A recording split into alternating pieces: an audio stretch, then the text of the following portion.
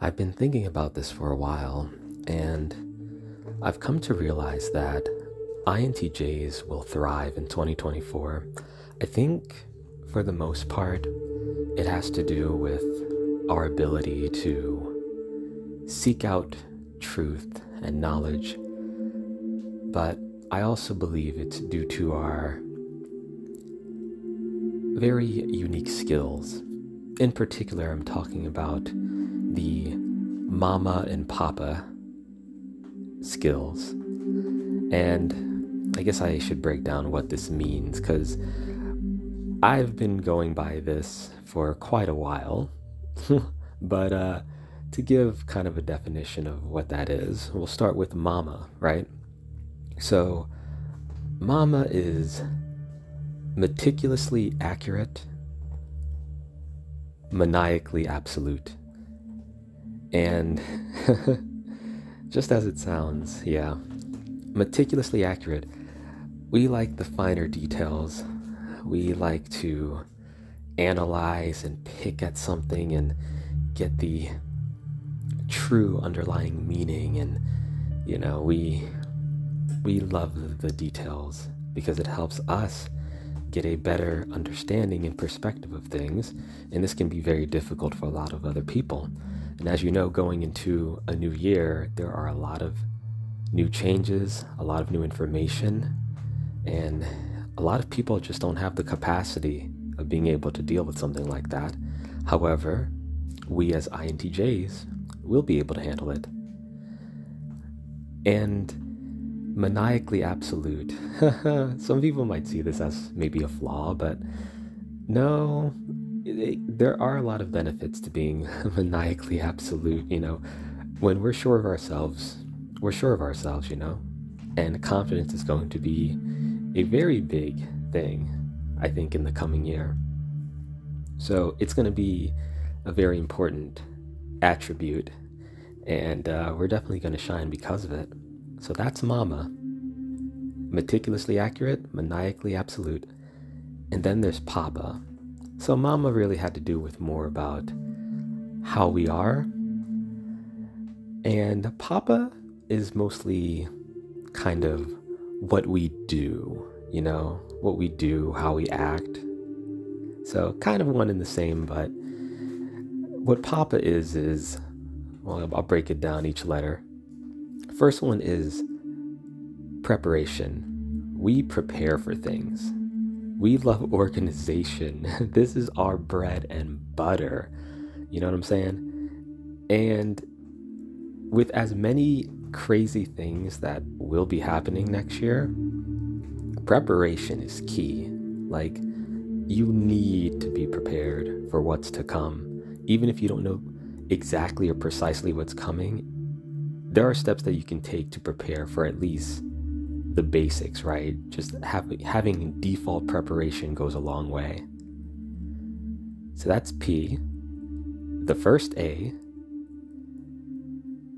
what do you think it is? Well, I'll tell you what it is. it's analysis. We analyze. You need to analyze. Observing information, taking it all in, being able to draw things from it. You know what I mean? Analysis. We are going to be absorbing information like crazy in 2024. And once again, like we are capable of doing that because of, well, I guess a good bit is owed to our introversion, right? But the way that we love thinking, the way that we love being able to take data and make sense of it, right? Our our our logical side, our reasoning side of it, you know, all of this is going to be helpful. It's not only going to help us thrive in 2024, it's going to help others thrive as well. Mm-hmm.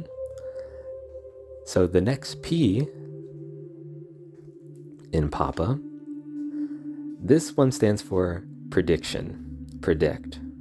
You know, a lot of people think that maybe we're too good at knowing what's going to happen in the future. And it's really not magic. Like, we understand from experience and just understand just by how we look at things, right?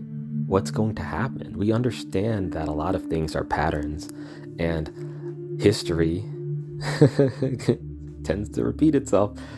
So it's really not that difficult, but I think for us, it comes a lot easier naturally because of the way that we do pretty much the first three things, right? Well, this is the third thing, but the other two things preparation, analysis, and, you know, prediction like it kind of goes hand in hand. Like, we prepare for things, we take in information because we analyze. So it's easier for us to predict what an outcome is going to be, at least most likely going to be, right? Based on many different possibilities, but it's really not that difficult to kind of get an idea of what an outcome is going to be, just based off of like basic general rules for how the world works, right? How reality works. So that's prediction. And then the last A is assessment. We assess things. So once everything is said and done, right? Once things have happened, reactions have happened, right? And you know, there's an outcome or there's about to be an outcome, we assess, we evaluate, right? We evaluate from the first three steps. We evaluate from preparation, we evaluate from our analysis, we evaluate from our prediction. And we see what happens in the aftermath once the dust has cleared, right? We'll see if we were right or if we were wrong. But spoiler alert, most of the time we're going to be right. And this is also going to be very important in 2024, along with prediction, right?